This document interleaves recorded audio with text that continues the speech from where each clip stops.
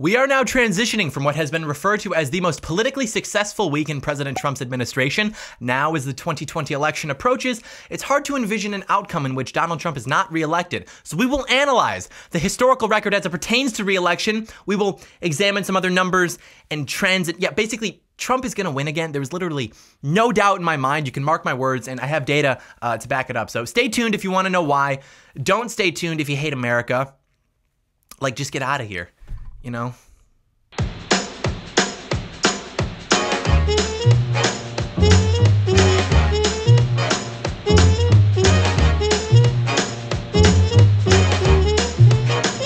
John Doyle in.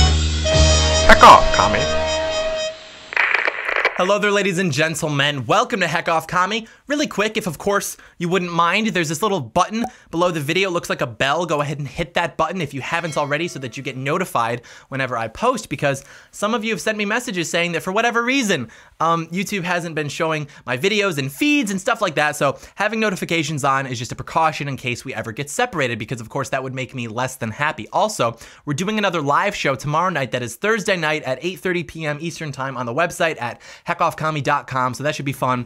Everyone who signed up is going to get an email reminding them about that. You'll also be able to go back and watch it on the website archive of the live show. So all very epic, but now on to the Donald. We'll start with the reasons that I find to be a bit less interesting, moving to the ones that I think are a bit more interesting. And these aren't all of the reasons, these are just the ones that I think are the most important. So Firstly, we'll start with the historical record.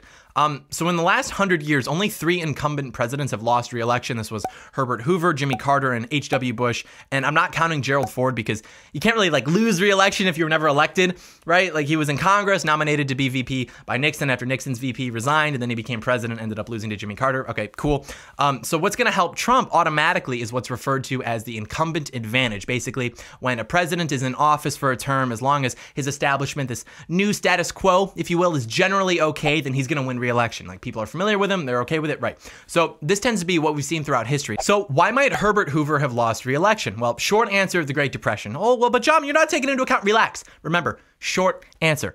Um, and by the end of Jimmy Carter's administration, the country was going through the energy crisis. We had high inflation, slow economic growth. It's called stagflation. Uh, the public perception was basically that his administration was incompetent. Then with H.W. Bush, he lied about no new taxes. Remember the whole read my lips thing? And then there was the recession through the collapse of the savings and loan industry. But he was actually a generally popular guy. A lot of that is related to his foreign policy in the Gulf War, plus you know, he came in as we were winning the Cold War.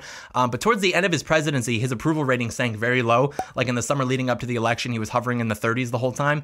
And another thing to consider with these is operating independently of the incumbent, what is the opponent bringing to the table? Hoover lost to FDR, who had big plans for getting America out of the Depression, and FDR won in a landslide. Carter ran against Ronald Reagan, an even better candidate with even better plans, and he also won in a landslide. And then in 1992, HW was running against Bill Clinton, who was a pretty good candidate. Um, and then the discrepancy between how upset the public was with the incumbent administration and how much they liked the prospective replacement wasn't great enough to manifest a landslide. But there was also the Ross Perot thing with the third party run. But ultimately, it came down to Bill Clinton being a great candidate and the latter part of the Bush presidency not going too well. So we're going to get in deeper with that information in just a second. But for now, let's just focus on this.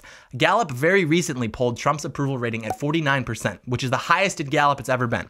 They also reported that 50% of Americans believe that he deserves to be reelected. At roughly the same time in his presidency, Barack Obama was polling in the same poll at about 46 or 47%. Stayed in the mid 40s until a couple months before the election in 2012, then it rose to about 50%, give or take a couple points. Barack Obama won against Mitt Romney in 2012, who was a terrible candidate.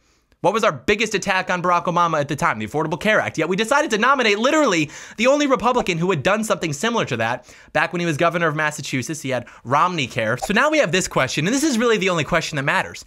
Do the American people think that Donald Trump has done a bad job, and do they think that whoever the Democrats nominate will do a better job? That's really the only question because historically speaking, when the incumbent president has done a halfway decent job and his challenger is underwhelming or even just average, the incumbent wins re election. And now for 2020, we've got Trump, who's done a terrific job as president, competing against who? There's virtually no Democrat running right now that could beat Donald Trump, not only because of how impressive Donald Trump has been in office, but because of how forgettable and frankly unimpressive the Democrat candidates are. So, given the way the scale is tilted right now, Trump is going to win. It's like when Reagan asked this when he was up against Carter. The only question are you better off now than you were four years ago? We've got 6 in 10 Americans, 61% saying they're better off since three years ago, which is basically the same thing given what we're talking about. And you might think, well, 61%, well, that's not that significant, but you would be wrong, sir, because in every election dating back to when the data started being collected in 1992, that figure never broke 51%. It was always 50% or less. And even with those figures, every incumbent president won re election, except Bush Sr., but there was the whole Ross Perot thing, and he was at 50%. Trump's at 61. So even assuming a generous margin, margin of error, history says Trump wins re-election. But here's something else that could explain that. If you look at how Americans were reporting their financial situations at the time of incumbent reelection, Bush Sr. was at 36% reporting their situation was easier, but 51% saying that it's harder. And he lost with those numbers. But Clinton won with 42% saying easier, 40% saying not easier. Bush 2 won with 41% easier, 46% not easier. Now here's where Trump is 52% easier and 36% not easier. So of all those incumbent elections, Trump has the highest percentage of people saying their financial situation has improved and the lowest amount saying that it hasn't. We're talking about the heart of America right now. The average person does not care about all of this partisan nonsense that we care about for some reason. All they care about is putting food on the table for their families. And they're telling us that Trump has made that much easier for them to do. Also, keep in mind, this is all despite the fact that Trump receives an unprecedented onslaught of nonstop, vicious media coverage, but apparently America isn't buying it. That's the reality of this country. This is why Donald Trump will win. And that's sort of the summary of it, but we'll actually break it down now a bit more.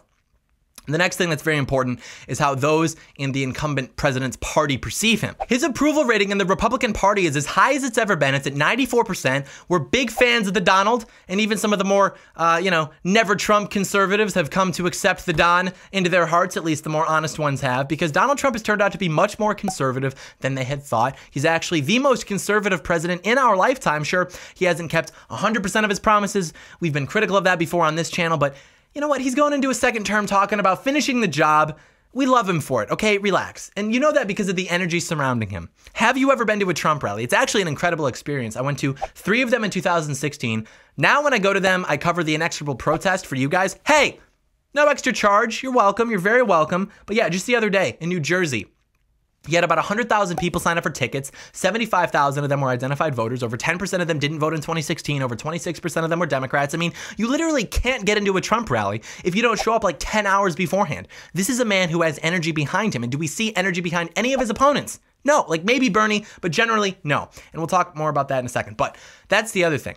Over a quarter of the ticket holders were Democrats. What does that mean? Not all Democrats are as radical as the current DNC wants them to be. I mean, they're still Democrats, you know, like, hey, get your hands off my daughter, hippie. Like, you know, we're still, you know, we're in disagreement generally, but there's more uh, room to an ex extend an olive branch with these people than there is for these radicals that are occupying the DNC. Maybe there's hope for some of these old school JFK, even Bill Clinton, frankly, these type of Democrats, like, hey, you know, come on over, come aboard the Trump train whatever. You know, not only is there strong Republican support, there's strong non-Republican support. His independent support is at 42%, but it gets more interesting because 60% of independents say that they're better off than they were three years ago. Why is that important? Because when Barack Obama won in 2012, only 46% of independents said that.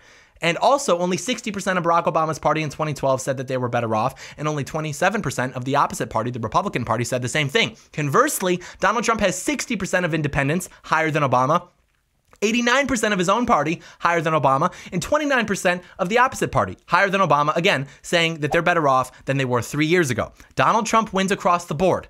Of the incumbent winners, he's got the highest percentage of independents reporting that since 1996 with Bill Clinton, but he still beats Clinton by 10 whole points. That is extremely significant. Could it possibly get more interesting? I think it could. I do. I think it could. We know that swing counties are important. Swing counties effectively decide elections, right? More or less. Swing counties are counties that went for Trump or Hillary in 2016 by less than 10 points. And if you look at the current data in those swing counties, Donald Trump has a 54% favorable rating and a 46% unfavorable rating. And even more interesting, his prospective competition, Bernie Sanders, is only at 36% for favorable and 60% for unfavorable. Joe Biden, 36% favorable, 61% unfavorable. Bloomberg, 29% favorable, 57% unfavorable. You absolute fools. It's over for you. Again, you played yourself. No president running for re-election in post-war America has been defeated with unemployment at less than 7.4%. Donald Trump has got unemployment at record lows for minorities. Workforce participation is at record highs. We've got more jobs open than people looking for jobs, which is causing wages to rise. Plus, my guy signed into law the Tax Cuts and Jobs Act that studies have shown an average family of four earning the median annual income of $73,000 a year received a cut in federal income taxes of more than $2,000. You know, to the liberal coastal elites, that's nothing, right? That's their like Starbucks budget for a year. But to the American people, that's almost a 60% drop in their federal income tax bills. You are not us. We are middle America. Where's my hat? We are Chiefs Nation, and you're San Francisco, and Donald Trump is Patrick Mahomes, and you guys are all dumb. You don't represent us. You're not America. I I am Andy Reid, and you are the city of San Francisco. And Donald Trump is also Andy Reid, and we're gonna crush you. Oh, we didn't even mention the Dow Jones. That's up more than 50%. S&P is also up more than 50%. Nasdaq is up more than 70%. And keep in mind, about 100 million people have 401ks. 42 million households have individual retirement accounts. They know who's putting more money in their wallets. They know who is making it easier to save for retirement, pay for college for their kids. And you know what else? You know what else they know? They know who's going to make it harder for them to do that. They know who's going to make it harder for them to help their families. They see this economy working for them.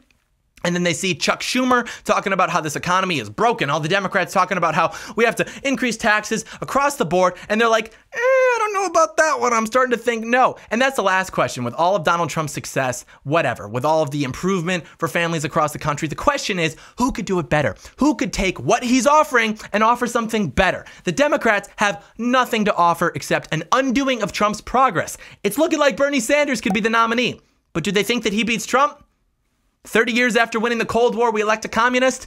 Talk about an embarrassment in the uh, in the U.S. history textbooks. 2020 will be about an American hero versus an old commie. It will be Americanism versus socialism, literally. And I can promise you that socialism will lose. Like, sure, Bernie Sanders might not be the best Democrat candidate. He's definitely not the most likely to beat Trump. But of course, a drowning man's going to clutch at a straw, right? But it's important to note that the Democrats are going to be in trouble if he doesn't become the nominee. And the reason for that is only 53% of Sanders supporters will definitely support a Democrat candidate that is not Bernie Sanders. About 31% said that it depends on who, but 16% straight up said, no, only Bernie. The other candidates did not have similar results. Their supporters basically said that they're going to support any Democrat that gets nominated. So why is it that Sanders supporters have this attitude? Because his supporters are socialists. They are radicals. And according to socialist theory, it is only through the destabilization of capitalism that socialism can be implemented. So if they can't get Sanders in there, then yeah, better to have four more years of Trump and capitalism, deregulation, and stuff like that than to have someone who's not a democratic socialist just slow that down. Because for some reason they neglect to acknowledge that Trump has made things objectively better for the American people. But, you know, whatever. These are the people that are delusional enough to support Bernie Sanders, a man who has celebrated communist regimes, defended breadlines, you know, fun stuff like that. But of course, among the blind, a one-eyed man is king, right? But we won't have to worry about that. Don't get me wrong. You know, we got a, we got a lot to worry about. We should be uh, like an alarming amount. But whether or not Trump gets reelected is not one of those things because, you know, he's going to get reelected, like without a doubt. So rest your head because while a stumble is not ideal, it can prevent a fall. Hey guys, if you like this video, the only way that I can know that is if you leave a thumbs up and a comment and subscribe to the channel. That is literally the only way that I'm going to know. How was your day today? You want to hear something sad? You want to hear? Go look up. Uh, there's a band called Neck Deep. It's like a pop punk band that I've been kind of getting into recently. They have this song called 1970 something. Go listen to that song. You will know when it gets too deep. You will know when the neck gets too deep. It made and then ruined my morning. It was it was just an experience that song. Man. All right, well thank you so much for watching and may God bless America.